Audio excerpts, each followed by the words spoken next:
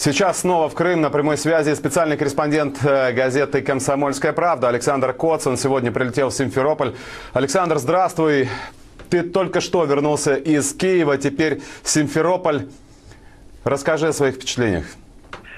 А, Ну, что можно сказать? Аэропорт э, Симферополя взят э, под э, строгую охрану.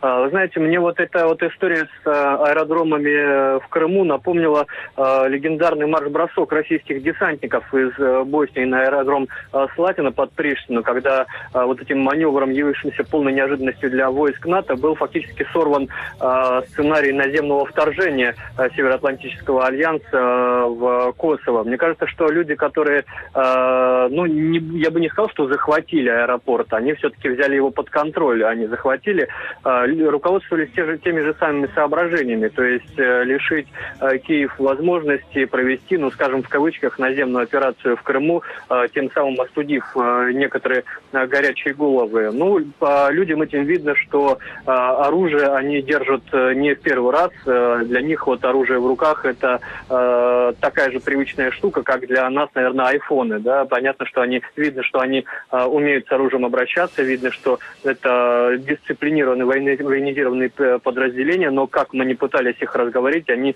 не признаются, э, каким э, воинским подразделениям они э, принадлежат. Ну, также э, есть сообщение о блокировании э, аэропорта в Севастополе, где также э, люди в одинаковой униформе, без знаков различия, без э, э, каких-то опознавательных знаков, э, также блокируют подъезды к э, аэропорту и также блокируется э, пограничная э, база украинская, также блокируется вооруженными людьми, причем э, погранслужба Украины, это имеется в виду, которая находится штаб-квартира в Киеве, они сообщают, что опознали э, в этих военнослужащих э, 810-й полк морской э, пехоты, хотя э, э, штаб Черноморского флота э, несколько раз опровергал сведения о том, что э, военнослужащие ЧФ принимают участие вот э, в этих блокированиях, в этих э, военных маневрах.